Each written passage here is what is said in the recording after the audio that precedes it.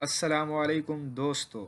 Video پسند آئے تو مزید ویڈیوز کے لیے ہمارے چینل کو ضرور سبسکرائب کیجیے گا۔ شکریہ۔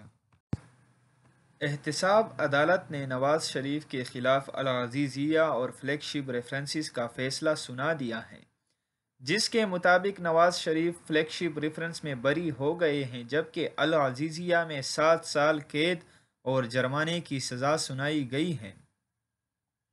تفصیلات کے مطابق الغزیزیہ ریفرنس میں احتساب عدالت کی جانب سے نواز شریف کو قید کے علاوہ دو باری جرمانے کیے گئے ہیں۔ نواز شریف کو پچیس ملین ڈالر اور ایک اشاریہ پانچ ارب روپے کا جرمانہ کیا گیا ہے، جو کہ مجموعی طور پر تین ارب سینتالیس کروڑ روپے بنتے ہیں۔ یاد رہے کہ عدالت کی جانب سے نواز شریف کے خلاف ریفرنسز کا فیصلہ اٹھارہ دسمبر کو محفوظ کیا گیا تھا، جسے عدالت کی جانب سے آج سنا دیا گیا ہے۔